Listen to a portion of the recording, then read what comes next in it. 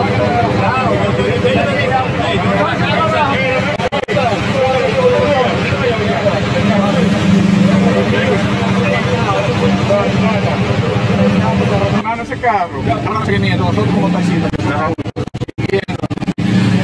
no pero ese carro, supuestamente, agarró y le pasó por el peatón, se llevó a todo un cochero.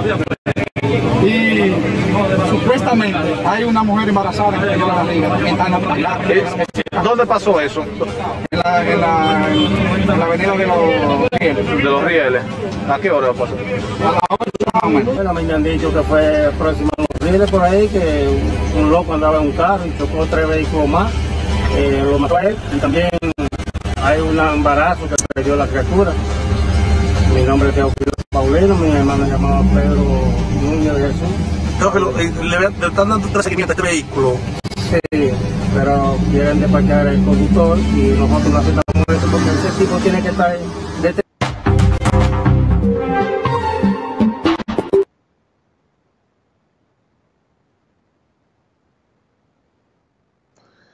Me dice una gran amiga nuestra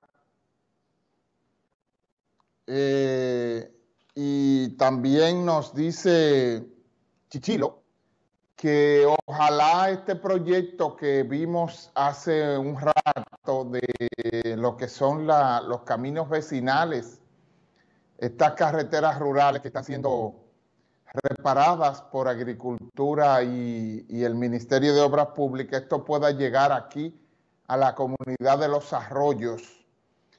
Hace unos días estuvimos en una actividad en la que eh, mi hermano José Ramón Díaz Conce, que es un líder comunitario de, la Yagüiza y un, un activista y un comunicador, le preguntó al senador precisamente de este caso, de esas comunidades, y él le dijo que, que sí, que se estaba trabajando en ese proceso, ojalá así sea, y esto también llegue a estas comunidades de aquí que, que tanto necesitan la reparación de los caminos, porque la gente de ahí de los arroyos, cuando va por la carretera hasta que llega a la universidad, eso es una delicia. El problema está después de ahí, que eso no tiene nombre.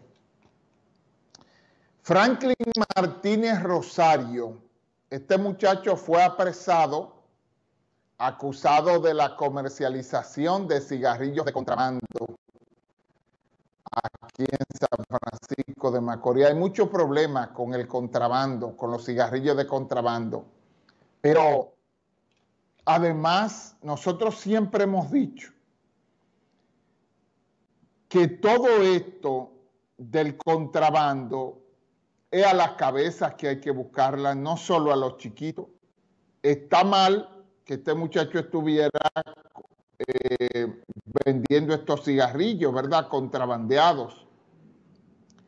Pero atención, en aduanas, ¿quién es que está confabulado para dejarlo pasar? En aduana en todos los sentidos, ¿verdad? En aduana en los puertos, en los aeropuertos y también en la frontera, que es uno de los lugares por donde más entra el cigarrillo contrabandeado. ¿Cuándo? ¿Cuándo van a, a, rodar cabezas? De esas, de las que permiten que toneladas, furgones y furgones de estos cigarrillos y de muchísimas cosas entren aquí al país. Vamos a ver este caso de Franklin